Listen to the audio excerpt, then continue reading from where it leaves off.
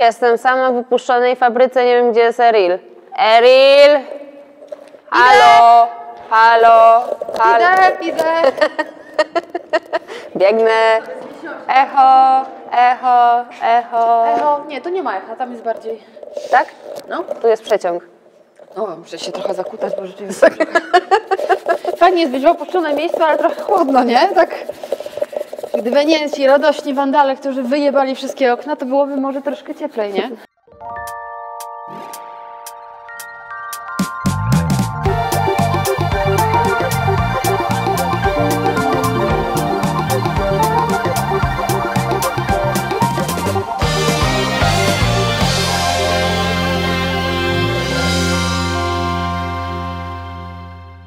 Tutaj oprócz okna to jeszcze pół ściany wyjebali, to wiesz.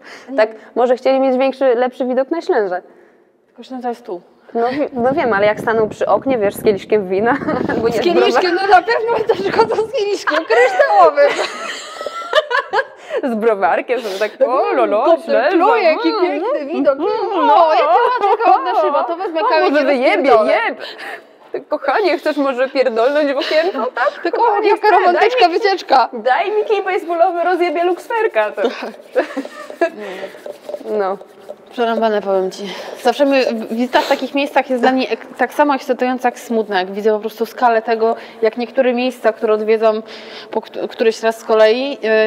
Yy, Ile razy tu już byłaś? Trzy. I jak? Wiesz co, yy, pojawia się więcej graffiti.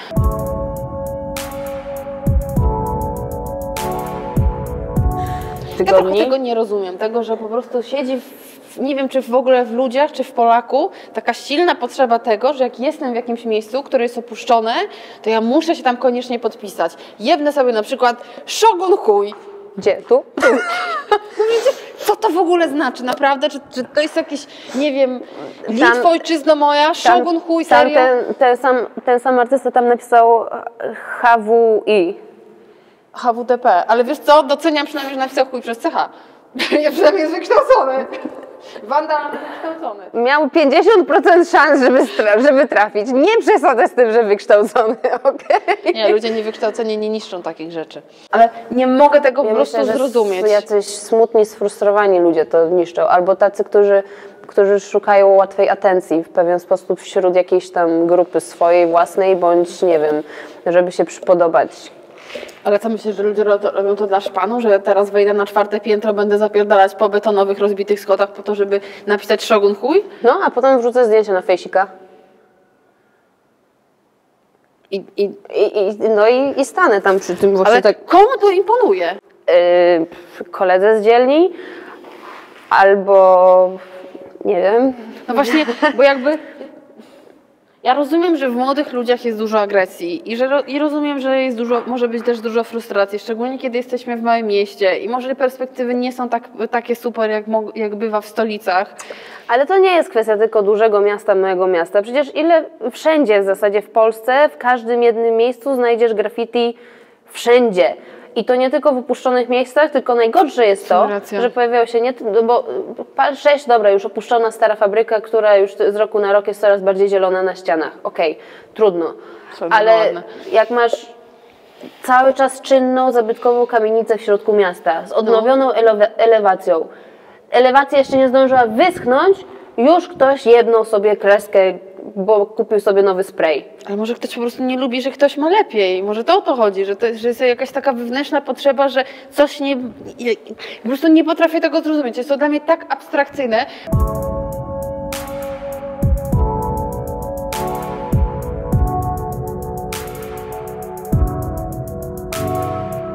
To, że znam tyle miejsc, wynika z tego, że taką mam pracę. Muszę sobie co jakiś czas gdzieś znaleźć jakieś miejsce, które jest nam potrzebne do zrobienia zdjęć, do zrobienia klipa i tak dalej. I my często rzeczywiście też wykorzystujemy te miejsce. Położymy, nie wiem, puścimy racę dymną, ale ją sprzątniemy, puścimy strobo, ale to też sprzątniemy, nie wiem, zbijemy szklankę, cokolwiek, też ją zabierzemy ze sobą. Ale jeżeli przychodzisz do takiego miejsca po to, żeby je zniszczyć, to to jest dla mnie niepojęta motywacja. Po prostu niepojęta. Po co? Po co? No po prostu chcesz coś zniszczyć, idź na boks, no. Przyjeżdżam do takich miejsc, które widziałam na przykład po 6-7 razy i z każdym rokiem jest coraz gorzej, bo wiem, że jest wyrwa w murze i można wejść tak o i nie trzeba przechodzić przez pana, który to pilnuje. Pana ciecia. No tak, i wiesz, i widzę, że drzwi wyważone, że jakieś napisy chujowe na ścianach, że y, okna pobite, że w basenie w ogóle śmieci wrzucone. No, A to ja już wiem nawet o jakim miejscu mówisz. no tak, no po prostu to miejsce wygląda coraz gorzej. Jak je odkryłam 7 lat temu, to było idealne, po prostu idealne. Jakby po prostu ktoś wyszedł i tam wszystko zostało. A teraz wygląda No bo- jak ruina. No bo masz, masz, faktycznie jest tak, że na przykład wiesz, w momencie kiedy wchodzisz i tak jak, tak jak wy to robicie, w, żeby nagrać klip, wy wchodzicie i wychodzicie i nie widać w ogóle, że tam byliście. No. Bo parę razy miałam okazję z wami, z wami być No na tak, paru ale na tym to scenerach. polega, I no tak? i dokładnie, wchodzisz, wychodzisz i tak jakby, by, i tak jak było. Ale to też jest tak, że jak my wchodzimy do góralnego miejsca, to to jest po sobie sprzątamy. Oczywiście, no dokładnie w ten sam sposób. To, to nie, nie różni się niczym, że jest opuszczone, więc nie trzeba o to dbać. Osoby, które wchodzą w jakiekolwiek miejsca i zaczynają po prostu maziać po ścianie albo rozpieprzać wszystko, co jest na ich drodze, to mają jakąś taką silną wewnętrzną potrzebę rozpieprzenia czegokolwiek. To może być jedno, albo w ogóle y, zaznaczenia swojej obecności, trochę jak nasikanie na drzewo. Ale z drugiej strony, no jakby, czy my wiemy, kto to napisał? A no, ale Jedyne, przecież... co wiemy, to to, że to jest jakiś pacan, który po prostu nie, nawet nie potrafi Ej. dobrze użyć sprayu. Ej, No świetnie ale się jak, podpisał. Jak chodziłam do gimnazjum, do mojej klasy chodził jeden, znaczy nawet, nawet nie jeden, bo trzech chłopaków, którzy należeli do e, dzielnicowego gangu. I ten gang miał swój znak, którym oznaczali ściany. I ludzie patrząc na to widzieli maziaja, a oni wiedzieli, że to jest znak gangu. Aha. Więc na przykład to było takie ryzyko czasami, że jeżeli ten gang pojawił się na dzielni obok i gdzieś coś na bazgrolił, to wiesz, już wkroczył na obcy teren. Aha. W sensie zaznaczył obcy teren. I No to tak, już ale- między nimi to był taki, o, to ja ci teraz pod czepakiem No dobra, ale przywalę. to ja jeszcze jestem w stanie zrozumieć w mieście, na jakichś dzielnicach, ale tutaj przecież my jesteśmy jakby w środku lasu. To mnie, to mnie tak irytuje po prostu. A za może ktoś razem. sprawdza na ścianach tutaj swoje nowe kredki po prostu. A kupię sobie nowy spray, sprawdzę jak, jak działać. Ale wiesz, że te spreje nie są tanie. Przecież to są, żeby, żeby pomalować takie rzeczy, to, to musisz wydać przynajmniej po 30 zł na, na coś takiego. Więc jakby to też nawet nie można powiedzieć, że o, niższy status społeczny. Chuja tam. Nie wiem, nie Po prostu niższy status mózgowy. Bo, no. bo ja generalnie z, z, nigdy w życiu nie robiłam żadnego graffiti, nigdy nie trzymałam nawet takiej farby w ręce, ewentualnie Ja tak, bo ja tam czasem maluję różne rzeczy, typu na przykład, nie wiem, A, żyrandol nie, to coś. przepraszam, to takie coś to nie, to faktycznie trzymam. A, na dobra, złoto. lamą nie jestem aż taką, a no ale graffiti nigdy nie robiłam. Oglądałam tylko jak się robi graffiti i to jest wyższa szkoła jazdy, to jest sztuka, ale No tak. takiego maziaja to sobie na ścianie... No ja bym nie zrobiła takiego cieniowania.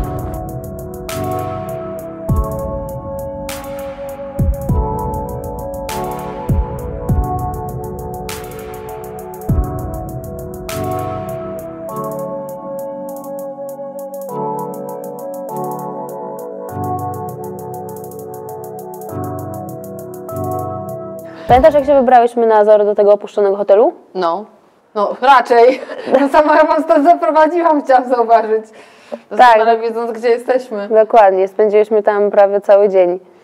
E, to okej, to hotel był w fatalnym, fatalnym stanie. Technicznie, bo, tak. Technicznie, bo był po prostu całkowicie rozłożony ze względu na warunki klimatyczne, jakie tam panują. No bo no. okej, raz jest strasznie wysoko, więc od jednej strony smaga go wiatr od oceanu, od drugiej strony smaga, smaga go Plus wilgoć. woda, woda z jezior Tak. i ze wszystkich innych, innych wód, które są Tak. tam naokoło. Wszystko tam jest, non-stop deszcz, przecież tam jest notoryczny, notoryczna mrzaweczka. Tak, tak. Więc No tam jest tak, hotel te- jest technicznie naprawdę... on jest tak w dosyć kiepskim stanie. Jest zielony, to jest Tak. taki jeden wielki glon stojący. Ale wchodzi...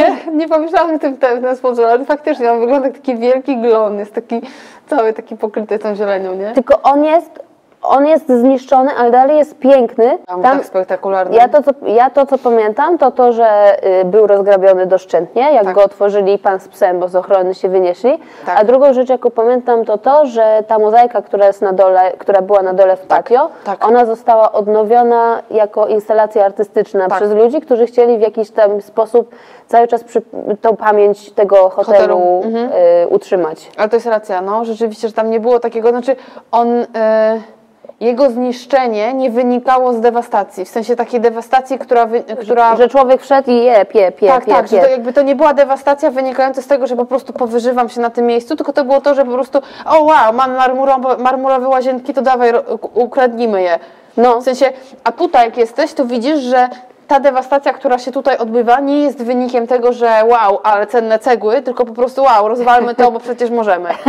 Dokładnie. Tam nawet było tak, że okna zostały usunięte przez władze Specjalnie. azorskie ze względu na to, że wiatr był na tyle silny, że rozpieprzał te okna i kawałki szkła latały No, bo, no i to jest niebezpieczne, przecież on był No. na szczycie góry tak naprawdę. No. No właśnie i jakby ja myślałam do tej pory, że to jest może trochę tak, że być, znając też miejscówki na przykład z, z Berlina, bo w Berlinie też jest dużo opuszczonych miejsc, A dużo skłotów i też jest dużo graffiti.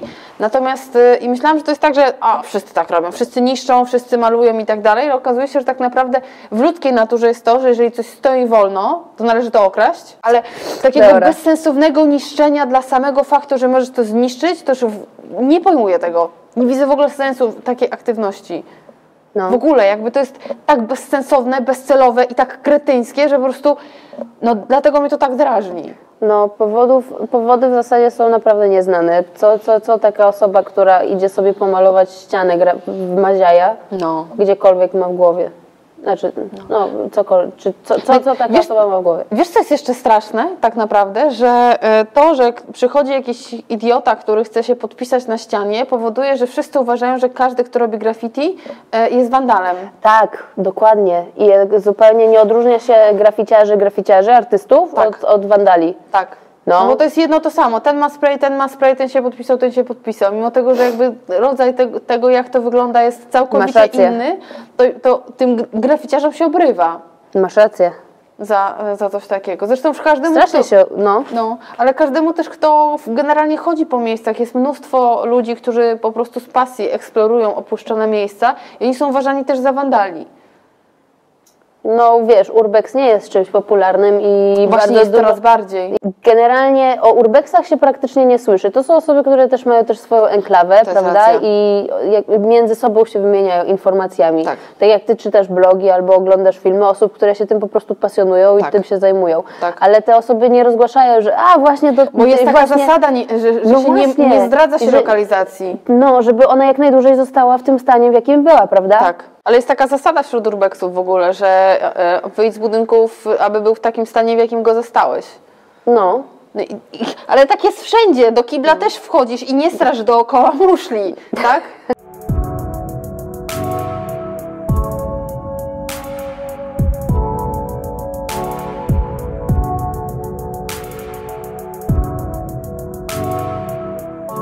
Ja mam wrażenie, że to, że co nie jest moje, to nie jest, to nie jest istotne. To jest, to wiesz, na, te, na, tej, na tej zasadzie działa już większość osób. Znaczy nie większość osób, ale W sensie jak te, te osoby, to znaczy, które... że można robić z tym, co można. To wszystko. Tak, co- że co te, te osoby, które, które jakiś tam wandalizm uskuteczniają w takich miejscach jak, jak to na przykład. Nie jest to moje, jest to niczyje. W zasadzie nie znam właściciela, nawet gdybym znał, to mam to w dupie. Miejsce mam w dupie. Mam, mam ochotę coś rozbić, to rozbiję sobie tę cegłę. O, ta cegła fajnie rozbija tą cegłę, to teraz o, o, rozbiję sobie okno. Racja. Nie jest to niczyje, to nikt mi nic nie zrobi. Właśnie, to też jest chyba ten poczucie bezkarności, nie? Że łatwiej jest niszczyć rzeczy, chociaż ciężko jest powiedzieć, nie wiem, czy to jest takie ekscytujące, niszczenie rzeczy, których nikt nie pilnuje? Nie no, bo bardziej ekscytujące w tym momencie, wywołujące adrenalinę byłoby rozpieprzenie ławki w parku. Ale tak się też dzieje przecież. Ale no dlatego mówię, że to by było już bardziej ekscytujące niż rozrywanie ściany w opuszczonym miejscu. Wiesz, w drugą stronę lepiej, żeby niszczył budynek, niż swoją złość i frustrację wyładowywał na innych osobach. No tak, to- to jest ale jakby- to to dalej jest- nie zmienia faktu, że to jest jakiś duży problem z tą osobą, która No ma tak, potrzeby. tak, no wiadomo, tylko no, jakby z dwojga złego to w sumie to jest lepsze. Jeszcze jednej strony, czy ty myślisz, że osoba, która decyduje się na to, żeby niszczyć taki budynek i e, decydować się na akcję wandalizmu, nie jest osobą, która nie zdecyduje się w którymś momencie na coś więcej? No właśnie, o tym, też, o tym samym pomyślałam, No. że to jest trochę preludium albo ewentualnie dodatek. Znaczy, to też nie jest tak, że ta, taka jest reguła, ale czy przypadkiem to nie idzie gdzieś tam, nie postępuje w pewien sposób za sobą?